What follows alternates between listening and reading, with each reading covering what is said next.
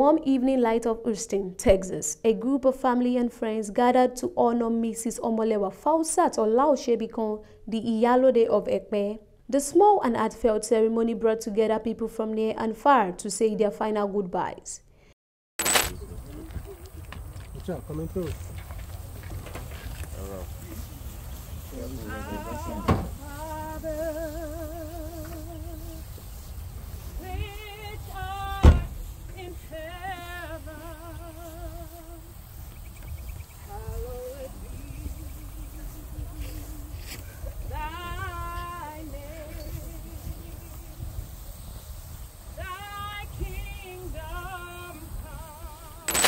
A beautiful song filled the air, a tribute to Mama, as she was lovely called.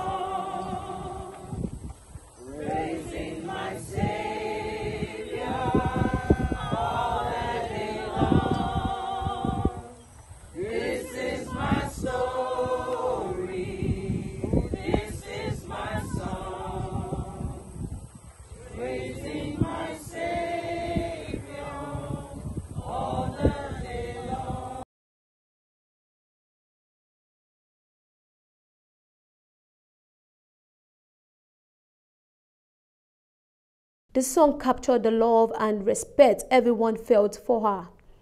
Mrs. Omolewa Fausat Olaosebikan was a mother of four. Her children stood together and spoke about how thankful they were to have her as their mother. She was an amazing mother who lived up to her name, Omolewa, which means your children are your beauty and glory, said her eldest daughter, Mrs. Bolanle Olaosebikan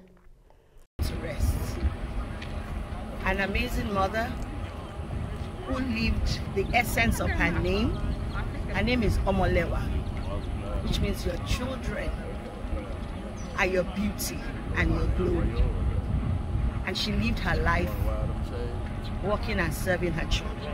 What we have to learn is even in the darkest and deepest, moment, deepest moments of our lives, we have to learn how to encourage ourselves. Because when I got up this morning, I didn't put my clothes on, my cologne on to impress anybody else other than myself. Because I heard you all say your mother wasn't in competition with nobody but herself. So when I got up this morning, I looked in the mirror and said, Good morning, you good looking thing. I started my. A second daughter, Onyikon Alakiu, added, My mom was the toughest woman I know. She handled everything so effortlessly, and that still amazed me.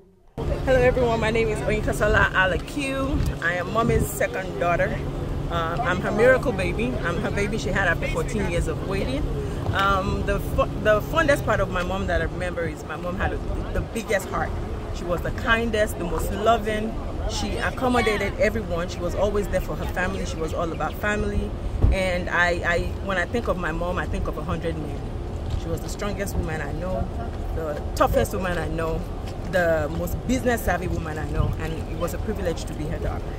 And I said, oh my gosh, that is where Timo and Dio and probably Sis. Mm-hmm. and oh, I got that love of reading. Just knowing little facts about her, I feel like even though we weren't together in America all the time and doing the daughter-in-law, the mother-in-law thing that you, she, she made every moment just special, just in our silence her rubbing my skin and me rubbing her beautiful skin. We can go on and on about the skin, but I just thank her for bringing me into this family. I'm glad that we're all here.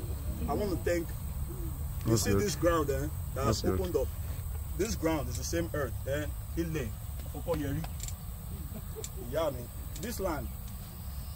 From it, when it opens up its mouth, everything that all of us are wearing here today and we see, it all came from this ground. Mm -hmm. Food, water, everything comes from this ground. Mm -hmm. And one day it's going to ask, you've been taking all these things from me. Mm -hmm. It's your own time too to come back. Yes. We all have this contract with this earth. Yeah.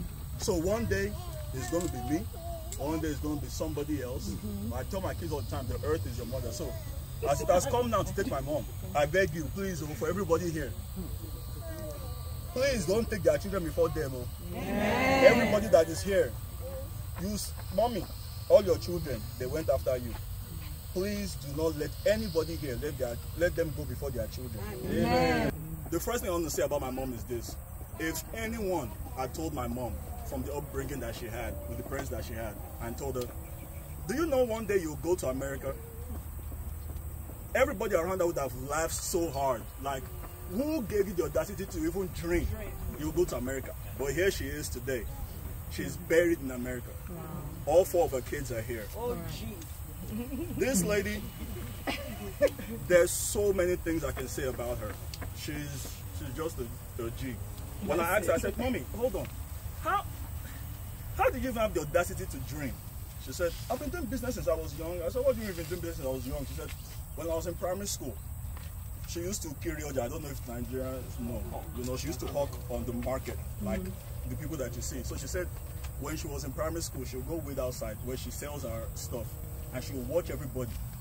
That if God helped the person that didn't buy from her, if it was a boy or a girl, she will hunt you down and beat you up. She's a nice person, a caring mother, a devoted auntie. It's not only me that she has helped, she has helped a lot of people. And the last time I spoke to her, she said, "Ah, don't worry, everything is going to be okay. And I believe her, but I don't know if it's going to be this soon. Thank you everybody for coming. Thank you. Friends and grandchildren shared stories about how loving and brave she was. They spoke about her kindness and support, showing just how much she was loved by everyone. Remember the taxi, taking the wheelchair out of the taxi. I remember us, me and my older brother, Ayo, taking shifts, taking turns, to take her to the restroom, change her diaper, take care of her, feed her and all that. Oh, but one thing I remember is that one thing I learned from all the things I've been told about her mm-hmm. from when you guys were kids was that was that she was an amazing person. She mm-hmm. She would make she would go she would suffer for you guys to be happy. That's and that's an amazing thing. The ceremony included prayers, moments of reflection, songs, and word of thanks. It was a fitting goodbye to a wonderful woman. As the sun set and cast a golden light over everyone, there was a sense of peace. The memory of Mrs. Omolewa Fausat Olaoshebikon's love and care would live on in the hearts, reminding them of our last impact on their life.